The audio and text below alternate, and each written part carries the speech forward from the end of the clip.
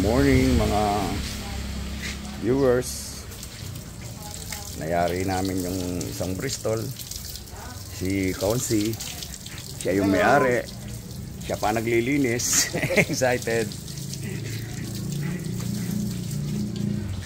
Ang naging modification natin dyan, handlebar. Tapos, yung crash guard, hindi kami ang, hindi sa akin galing yan. Muffler, sa akin yan. Bonenance yan.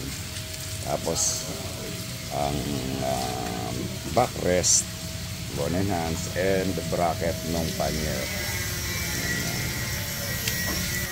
Now, itetest natin yung sound. Sound check.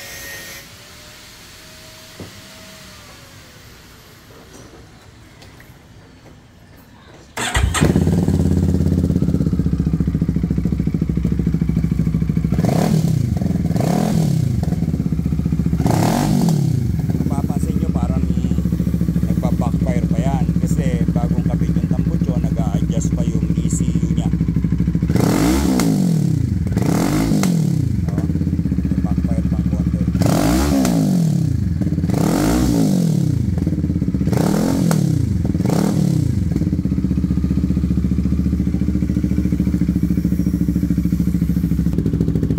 Pag umandar na ng mga ilang minuto yan nakapag-adjust na yung ECU ma-adapt niya na yung ano yung bagong muffler mawawala na yung backfire na yan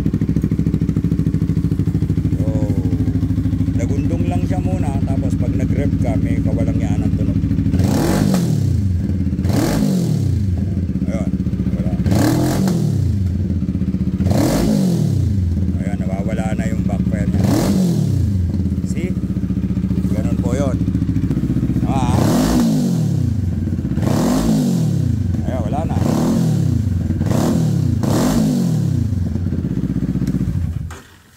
Hindi ka naniniwala sa akin kasi mahirap lang ako.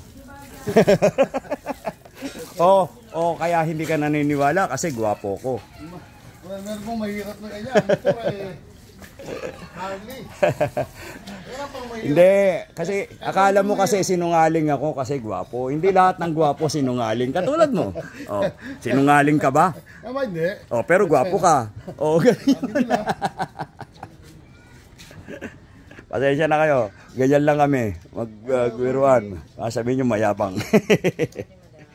Ganun lang para laging masaya. Si Bak. Sama ng mukha. Nagising sa ingay ng motor. Yun. si Cozy kasi ang agan dumating dito.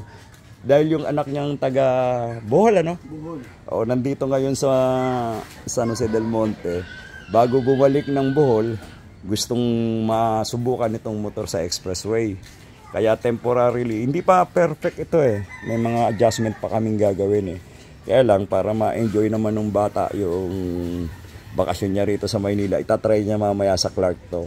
And then next week, ibabalik yan ni dito sa shop para ayusin namin yung mga other issues kasi ah, may mga wala sa align yung ah, fender nung motor niya. Eh yun, hindi naman namin kasama sa I mean, hindi trabaho ng yung gumawa ng mga ganun. Kaya lang, syempre, tropa na rin si Consial. Tutulungan ko na siya. Kami na maggagawa rito. A-adjust namin para dumiretso yung fender. Pag yung fender, oh. Tingnan nyo, ito yung gitna. Supposed to be, ang gitna niyan, nandito. Dito. Oh, wala siya sa gitna. Ang tendency, makikita nyo, dikit dito, dito malayo. Samantalang, diretso, lahat yung gawa namin ng accessories. Pag sinukat mo sa gulong, eksakto to. Tsaka ito, parehas ang clearance. Pero ito, hindi eksakto sa gulong. Anyway, siguro sa pagkakakabit lang ng mga tender. Kaya, pabalik niya rito next week para ayusin namin yan. Okay? Pero, nasa na si Consi? All in all, ano masasabi mo, boss? Okay naman. ah, maganda. Kasi economical yung ginawa natin. Kailangan natin ng backseat para yung misis ko ma Oo. sakay.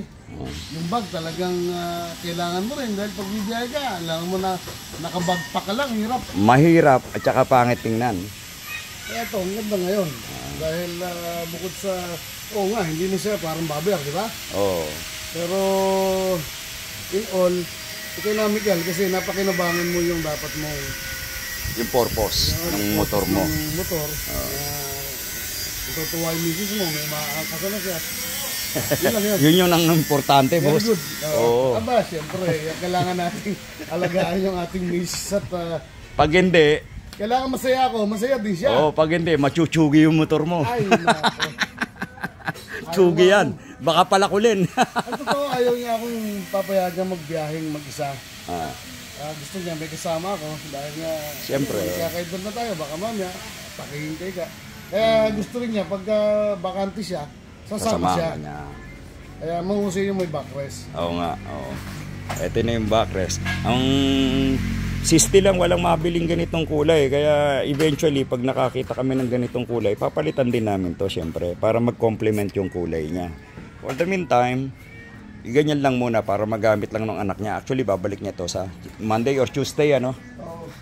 Okay.